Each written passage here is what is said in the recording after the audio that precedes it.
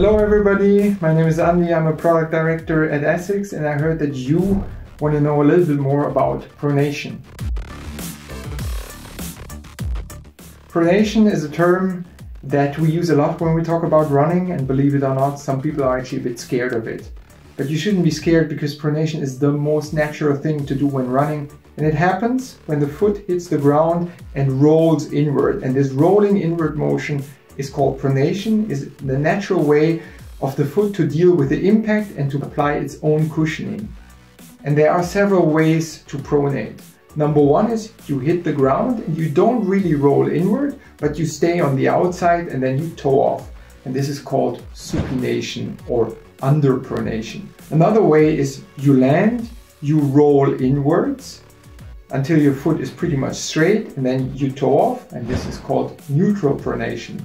And the last type is you land, you roll inward quite excessively until your foot is almost tilted and then you toe off.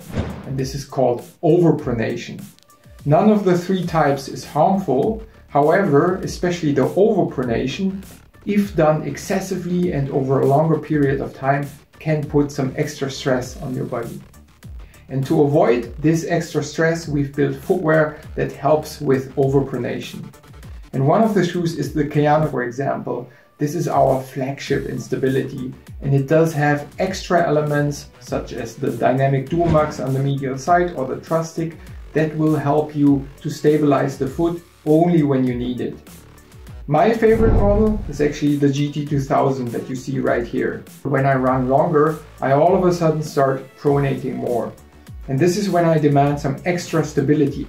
If you want to know what type of runner you are and what type of pronator you are, you can easily go to your local run specialty store or to an ASICS store and they will help you with your gait and also what type of footwear you will need.